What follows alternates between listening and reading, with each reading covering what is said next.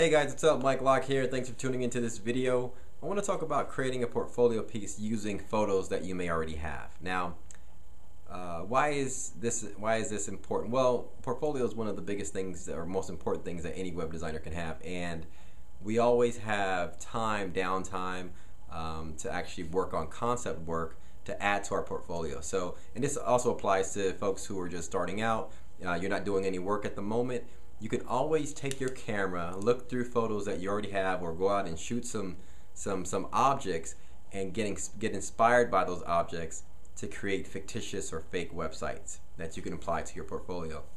An example is here's a photo that I recently took at a Big Bear trip, and it's a picture of some snow boots uh, that I took from a from a friend of mine. And um, while I was browsing through these photos recently, the last couple days, I saw these shoes and I thought, you know what, this actually looks like like a modeled shot that you would see on a retail website of a shoe store like Zappos or something like that, right? So with this shoe being inspired by this shoe, I was able to create this particular mock-up.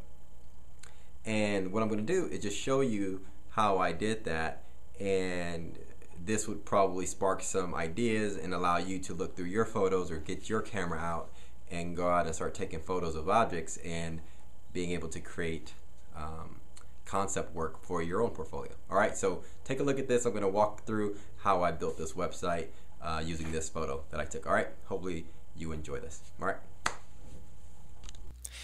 Okay, so here we are on my desktop, and I just want to walk you through some of the photos that um, I took recently at my Big Bear trip and here here is the actual photo that I'm going to be using in the mock-up. Let me show you the mock-up the completed site. So the site looks something like this where you have the nice big hero shot billboard. You have your navigation bar up top. And down below I grabbed these these these items from Google. You can randomly like grab some images off there and uh, little footer okay? So it looks like a professional retail internet website that sells snow boots and I created this little logo. So I'm gonna walk you through how I created that. When I start over here in fireworks my canvas is 1400 pixels wide and I'm just using a black canvas here uh, and uh, 1500 pixels in height so the first thing I do is I'm going to turn on the guides. Now to create these guides, I normally create these guides so that I know where I want to position things and, and lay things out. So normally what I'll do is I'll have I'll, I'll have my, my two guides here that's over here on the left and over here on the right. I, this space in between is 960. So I know I want to build my website within 960 and to just if you don't know how to build or get to lay these guides out with your rulers turned on you just go to view rulers just click on rulers. And over here on the left just click on the ruler click on the ruler and drag to your canvas. And that should actually bring out guides for you. Alright so that's how I lay those or, or uh, bring out these guides or create these guidelines Alright, so I know it's 960 and I'll say this is by 100 so the top portion is where I would create my navigation and my logo. And then down here I this space is about 300 pixels in height. This is my billboard. And then this bottom line here is I always place this guide here at about 600 pixels. So this deter this basically lets me know that anything below this 600 pixel mark would um, potentially show up below the fold.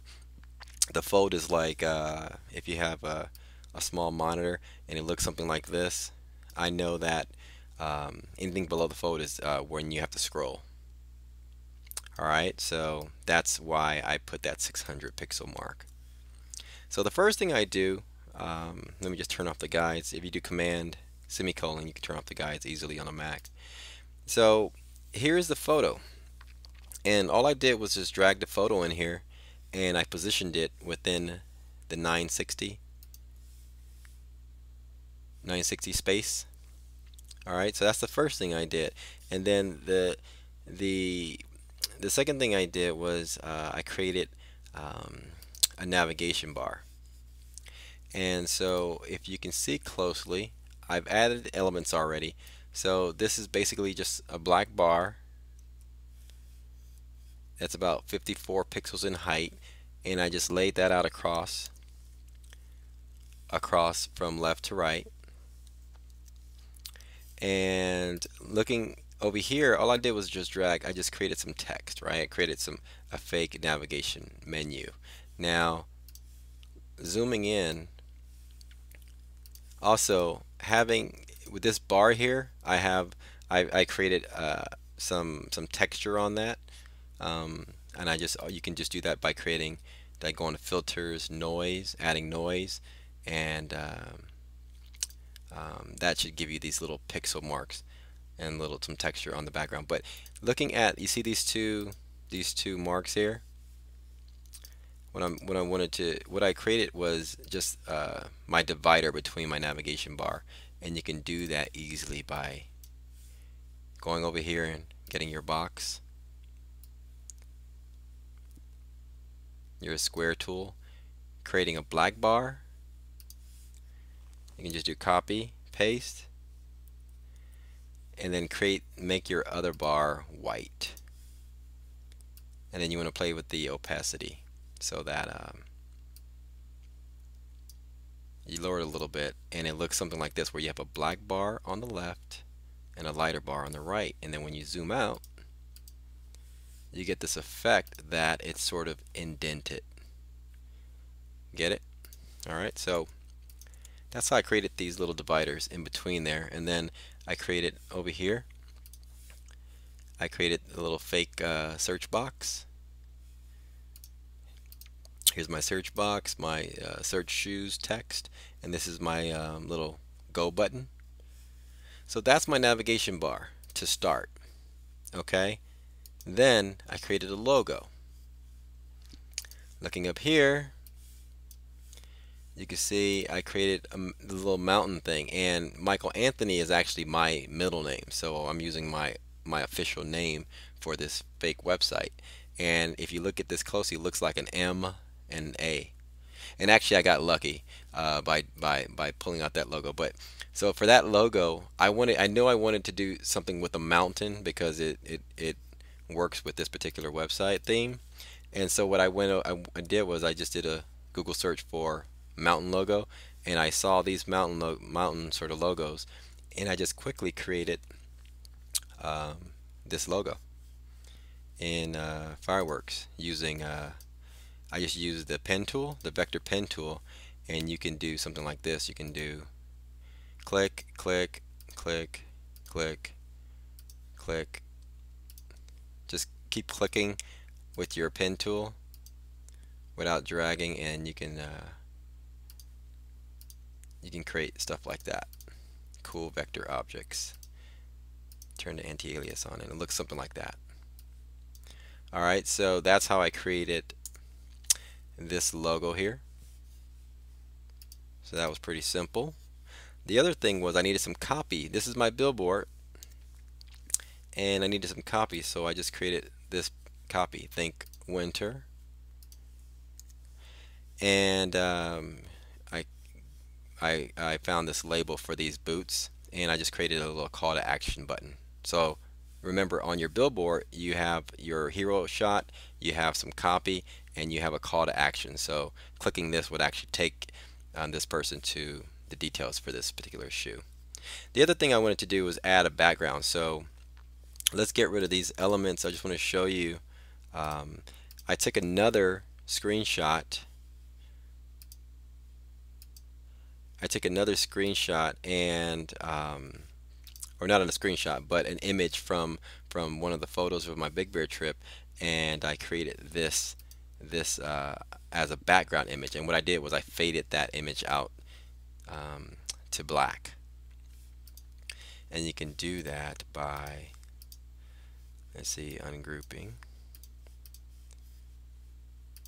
see here's the image and all I did was do uh, let's do command creative auto vector mask and so I just chose that and I just created this little vector mask there. Alright, so that's how simple that is. Let me just add these elements back. So when I have that, what I needed below this, below the uh, the billboard shot, I needed some content. So I just created these uh, these three boxes here of content. And looking at this particular box here, they're all the same just for this particular layout. What I did was I went to uh, go over to Google. You can just do like um, snow boots do an image search and you can grab you know boots off of here which I did like this. I grabbed that and I just copied it and pasted it into my mockup as an example. You know so it's just a just uh, uh, using it for concept work it should be fine. And uh, also for my background I added this wood this wood uh, texture to give it a little bit more uh, depth or some some more graphic appeal um, to my to my um, to my mock. And I just had this this particular wood background. I actually had this for a while. I, I, I got this off of iStock Photo, so you can go to iStock Photo and grab background background images. Um, the last thing was I added a footer with some fake links here and a little highlight of the logo and a little copyright text at the bottom.